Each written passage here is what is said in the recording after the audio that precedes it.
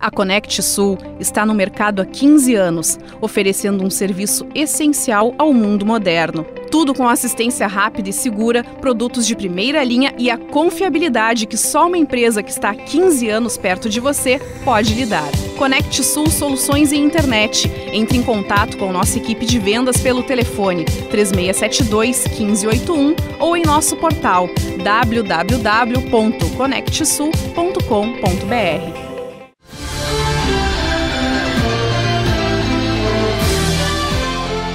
Seu José, a, a sua preferência, por que o senhor prefere votar cedo da manhã? Ah, porque a gente já fica mais descansado e não ajunta muita acumulação. E qual é a sua opinião que esse ano foi diferente, as eleições, sem muito é, é, placas, cavaletes, papel espalhado pela rua? Acho que isso melhorou para para todo mundo? Foi, foi, foi bastante, bastante mesmo. Não deu muito serviço, principalmente para o serviço público. Qual é a sua idade, dona Cecília? 89 anos feito. E mesmo assim a senhora continua. Votando porque gosto muito de votar.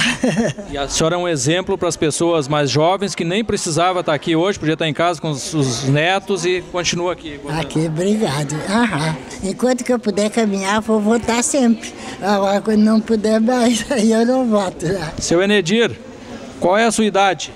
É, 84 anos. O senhor já nem precisaria mais estar votando, mas o senhor continua desempenhando aí a sua função de cidadão. Explique para nós aí por que, que o senhor continua ainda votando. Porque eu acho que a gente é um dever da gente dar o voto para as pessoas que precisam trabalhar, que precisam administrar, né? Muito, que a nossa cidade precisa de administração boa, como prefeito, né? Então acho que é necessário a gente votar mesmo que não tenha mais idade, como eu não tenho, né? Mas eu acho que é um, é um prazer da gente votar. Certo, não, pelo menos, primeiramente, parabéns pela sua iniciativa. Eu acho que as pessoas tinham que, que seguir fazendo isso, como, como é o seu caso. Independente do, do, do candidato que vai ganhar, o que, que TAPS precisa melhorar aí, na sua opinião?